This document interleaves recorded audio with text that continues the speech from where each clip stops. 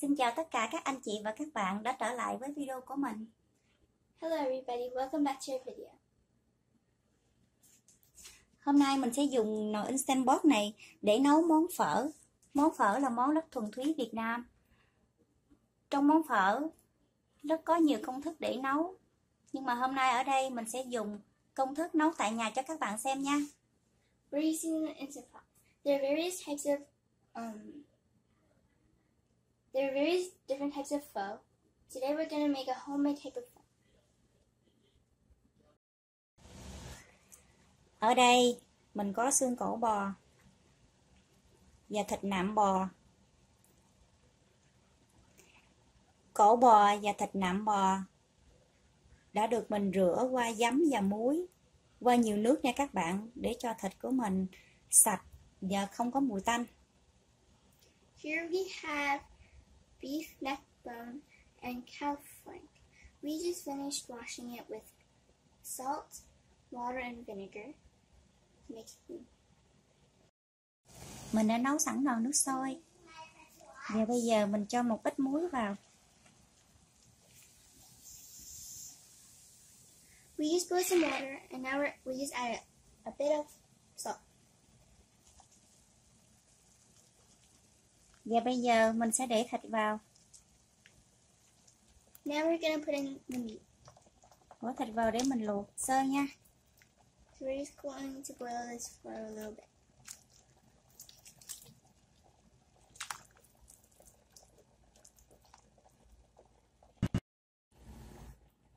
Sau khi, sau khi thịt mình luộc được 15 phút thì các bạn nhìn thấy cái bọt đã nổi lên, cái bọt đó là những cái chất dơ trong thịt đã ra.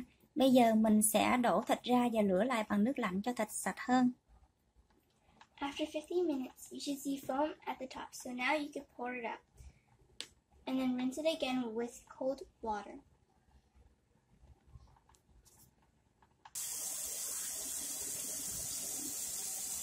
Bây giờ mình sẽ đổ thịt ra. So now we're pouring in the, the meat. Và mình sẽ rửa lại bằng nước lạnh nha các bạn. Right now we're adding in some cold water.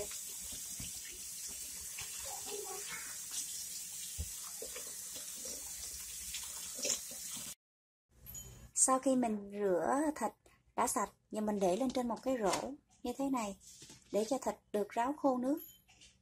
After you finished rinsing your meat, you can let it set and dry. Và tiếp theo mình có củ gừng. So first we're going to use ginger, và mình có thảo quả. Black cardamom, và đại hồi, star anise, cây quế. Cinnamon, và củ hành to. and onion.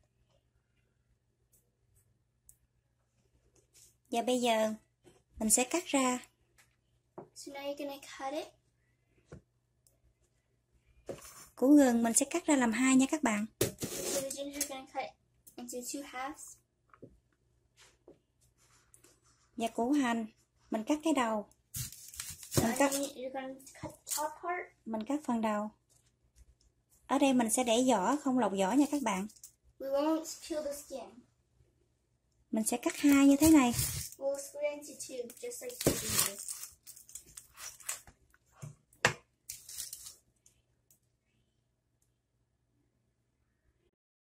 Và bây giờ mình bắt một cái chảo lên trên bếp, mở lửa lớn lên nha các bạn. Now we're going to get a pan and turn the stove up to high.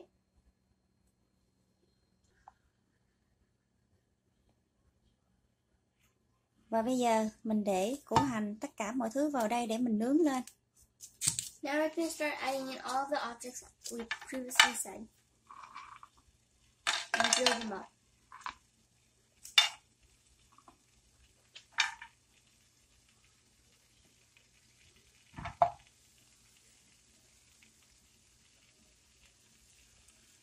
Mình sẽ dùng đũa và trộn đều lên nha các bạn.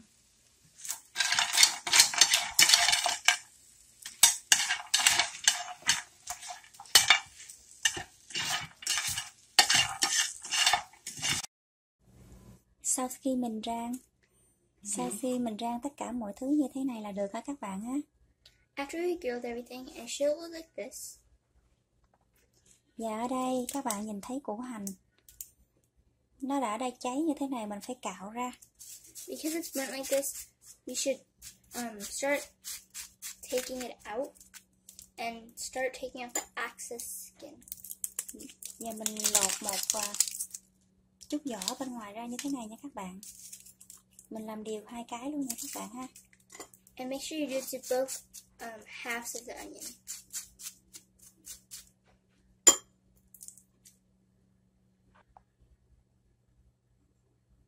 Và ở đây mình có một cái túi vải nhỏ như thế này để mình để mình bỏ đại hồi và thảo quả vào đây cột chặt lại nha các bạn. Here we have a small pouch, and we're gonna put in the star in aniseed and the starch. Và bây giờ chúng ta bắt đầu nấu nha các bạn. Now we'll start cooking it. Mình mở nắp ra nha. We'll start taking off the cap or the lid. Giờ mình cho xương vào đây. Now we're gonna put in the meat. I mean the bones. Mình cho xương và mình cho thịt nạm vào đây luôn nha các bạn. And make sure you also put in the meat.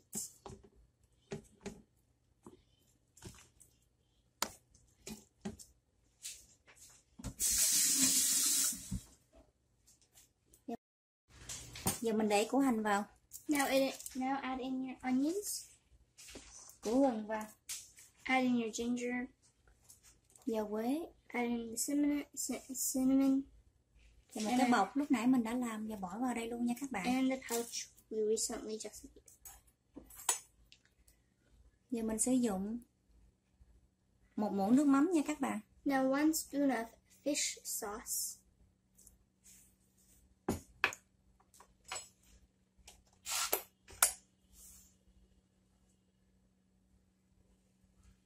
Và một muỗng nhỏ cà phê muối nha các bạn. a tablespoon of salt,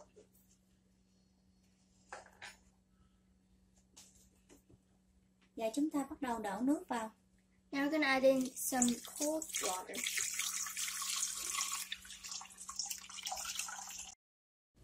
Ở đây mình đổ nước cho ngập lên trên luôn nha các bạn. We added some water so that it would be over the meat. Và bây giờ mình đóng nắp lại nha.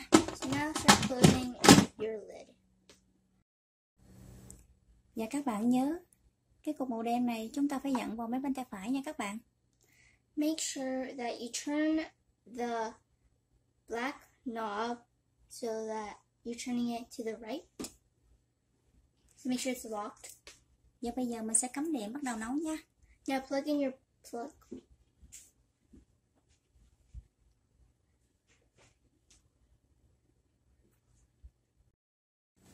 Và ở đây mình sẽ bấm nút này. Súp. Now we're gonna press the soup button.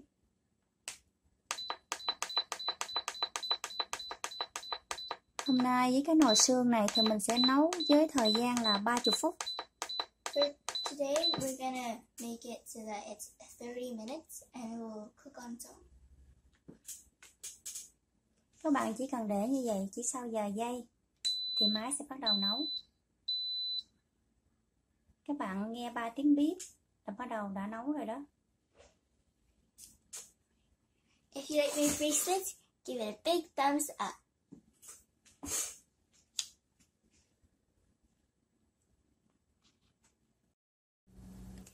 Sau khi mình à, nấu nồi phở của mình được 30 phút và một tiếng lower cook After 30 minutes uh, of cooking and an hour of lower cooking,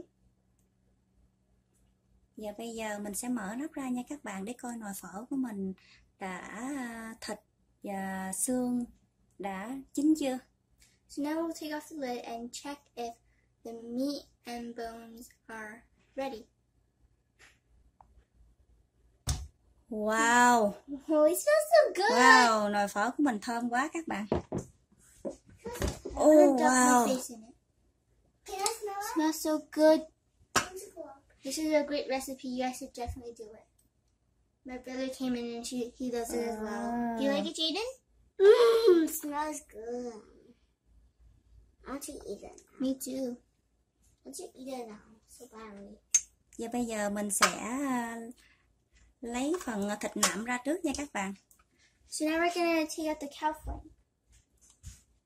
Mình lấy phần thịt nạm ra và mình sẽ à, rửa sơ qua phần nước lạnh để cho thịt không có màu đen nha các bạn. So now we're gonna go rinse it over with cold water so that it won't be black.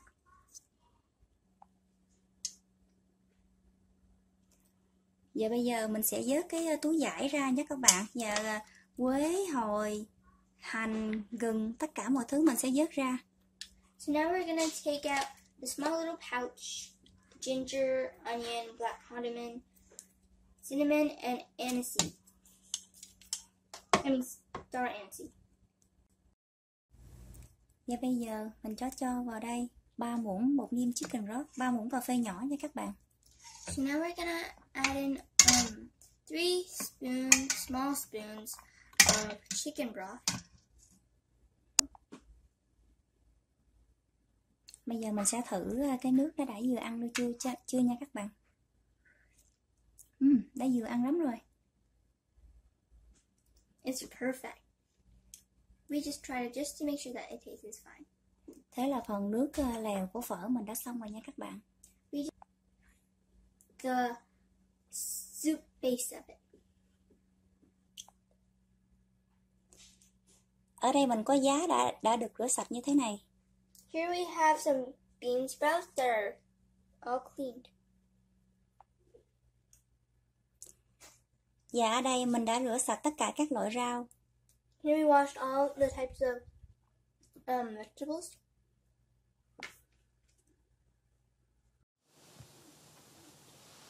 Và đây mình có hành lá, Here we have green onion. mình có ngò gai We have saw leaf. và lá quế nha các bạn. Basil.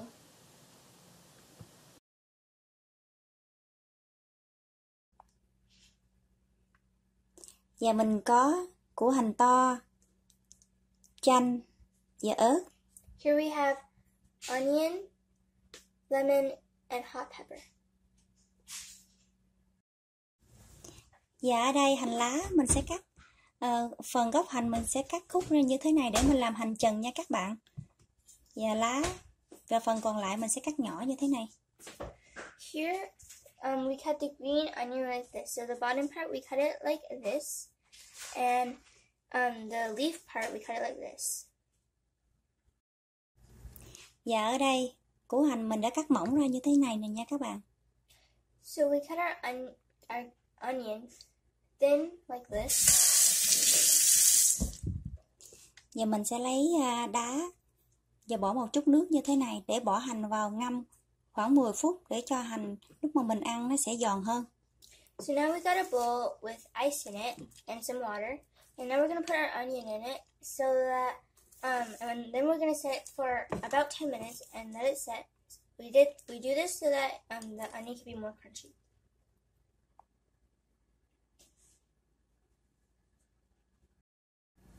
Và trái chanh mình sẽ cắt mình sẽ cắt ra làm bốn nha các bạn.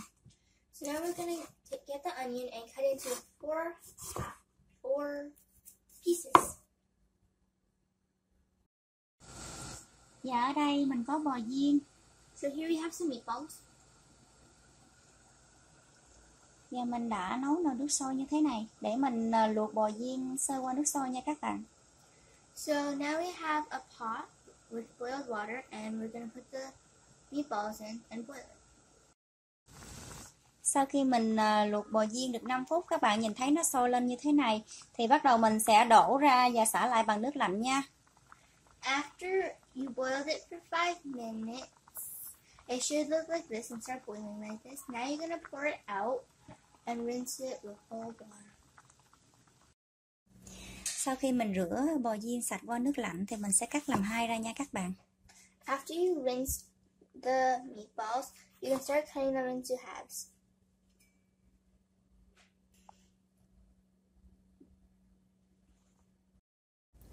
Và ở đây, phần thịt nạm mình sẽ cắt mỏng ra như thế này nha các bạn. Here's the cow flank. We just cut it out. We just cut it into thin strips like this. Và đây, mình đã có thịt, à, ở đây mình có thịt bò nạc như thế này nha các bạn. Mình, mình sẽ cắt mỏng ra như thế này, để mình làm bò tái ha. So here we have some rare beef and we just cut them into thin pieces like this.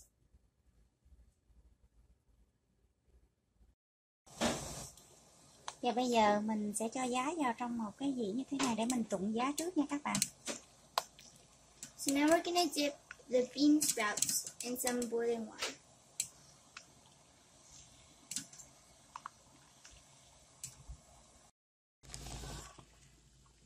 Ở đây mình có phở khô, bánh phở khô nha các bạn. Và mình đã ngâm một mớ như thế này, ngâm qua nước khoảng chừng 10 phút nha. Here we have some rice noodles and we rinsed it with some cold water for about 10 minutes. Bây giờ mình sẽ mở nắp nồi ra nha các bạn. Now we will open the lid. Và các bạn nhìn thấy trong nồi nước vẫn còn đang nóng lắm. Here in the pot right now it is pretty hot still. Nhưng mình sẽ mở thêm nước sâu ở đây và mình để thêm 15 phút để cho cái nồi của mình thiệt sôi lên để mình múc ra tô phở cho thiệt là nóng, thiệt là ngon miệng nha các bạn. So now we're gonna press the soap button so that it be hotter and then we're gonna put it as 15 minutes so that when you put it back in your bowl it'll be nice and hot. Mình sẽ cho phở vào trong cái rây như thế này để bỏ vào trụng nước sôi nha bạn. So now we're gonna put the rice noodles into the boiling water.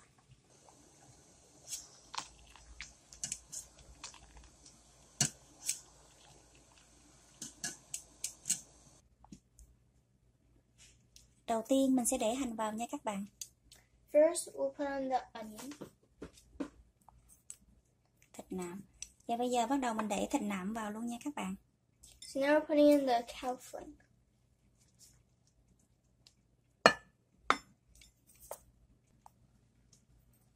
Và bây giờ mình sẽ để bò viên vào luôn nha các bạn.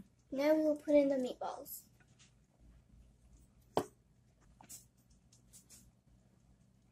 Và mình sẽ cho giá vào luôn nha các bạn.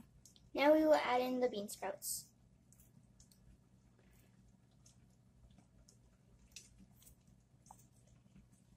Và chúng ta không thể thiếu hành chừng. Now we will put in the green onion.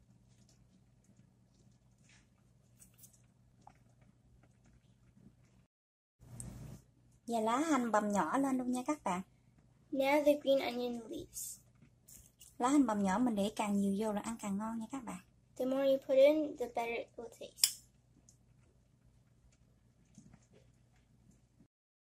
Giờ bây giờ nồi súp của mình sôi và nóng lắm rồi nha các bạn. Bắt đầu mình đổ vào trong cái à, trong cái tô phở của mình nha. Now that our soup base is all boiled up, we're gonna pour it into the bowl we recently just made. Nước phở trong lắm nha các bạn.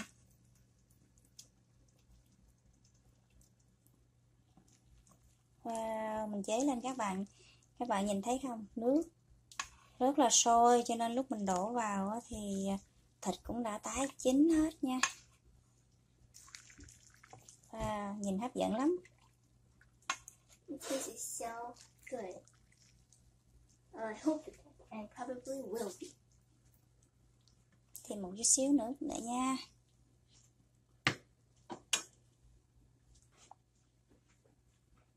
Bây giờ mình sẽ rắc một ít tiêu vào nha các bạn. Now we will put in some pepper. This is optional. Và mình dắt một miếng chanh vào luôn nha các bạn. Now we're gonna put in some lemon.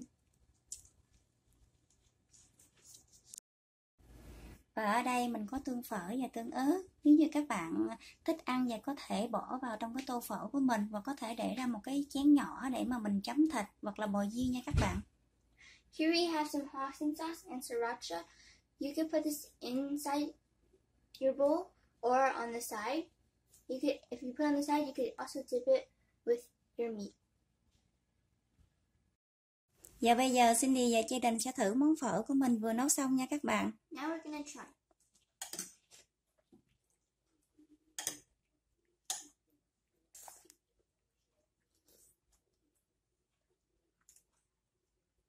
But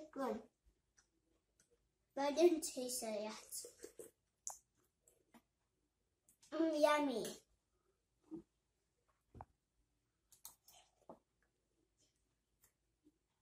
Mm, yummy.